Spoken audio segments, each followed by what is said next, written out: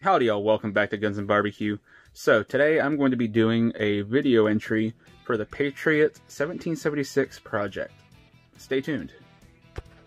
So the person that I am nominating as a hero, falling under Patriot in the Dark's uh, definition, will be Paul Revere.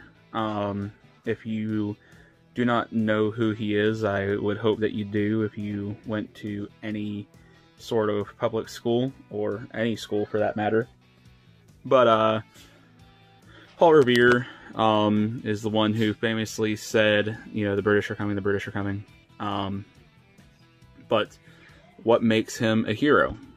So let's find out. Now, going by Patriot in the Dark's definition of a hero, which I honestly can't agree with anymore. Uh, I think it's a terrific definition.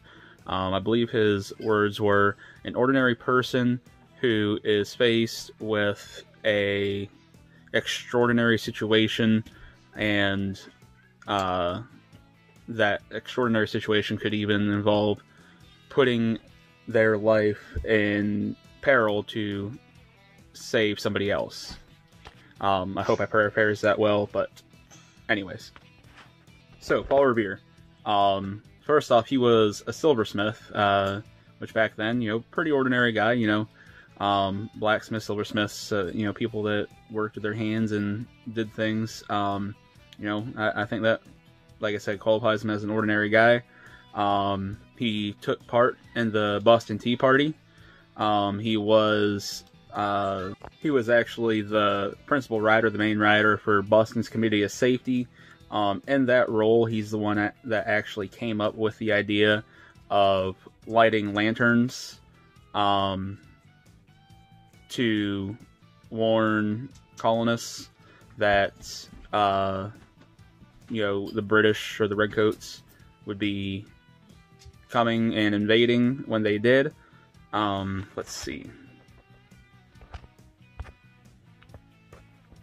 Where the frick's off button? So if Paul Revere's ride was not successful, um, who knows how the battles of Lexington and Concord would have turned out. Those were the first battles of the American Revolution. Um, if he would have been caught, he surely would have been killed. Uh, you know, it, it, would not have been a good situation. And if it wasn't for his ride and uh, selflessly putting himself in danger uh, knowing that you know if he was caught, he would surely be dead, and warning everybody.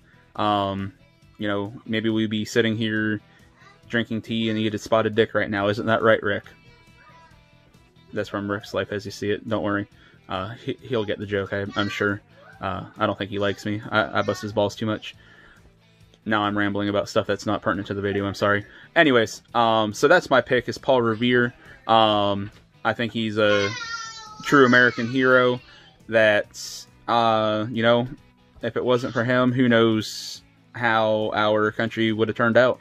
Um, but that can be said for a lot of people um, in colonial times uh, during the American Revolution. Uh, a lot of people to pick from. I chose Paul Revere.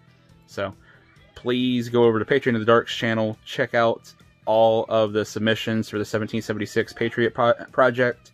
Um, Patriot in the Dark is a hell of a dude. Um, I can't ever say enough about him. He is one of the big reasons that I have my YouTube channel, and I can't thank him enough uh, for everything. Uh, just with everything that he's helped me with, with my uh, visual impairments. Um, you know, I've still got a tiny bit of vision, and I rely heavily on it still. Um, but the resources and whatnot that he's given me um, in just the last six months have been such a huge help. Uh, the guy's a great guy. Go over, check out his channel, check out this giveaway, um, show him some support, and uh, keep your guns firing your smoker smoking. Please hit that subscribe button, and I'll catch y'all later.